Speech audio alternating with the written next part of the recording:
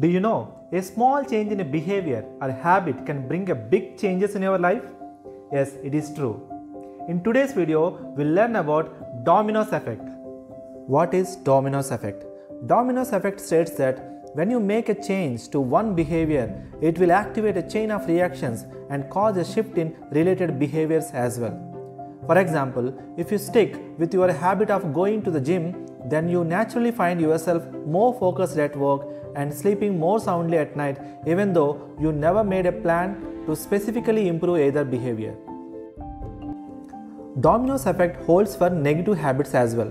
You may find that the habit of checking your phone leads to the habit of clicking social media notification which leads to the habit of browsing social media mindlessly which leads to another 20 minutes procrastination. So friends, which behavior or habit activated a positive chain of reactions in your life? Share with me in comments. Thank you.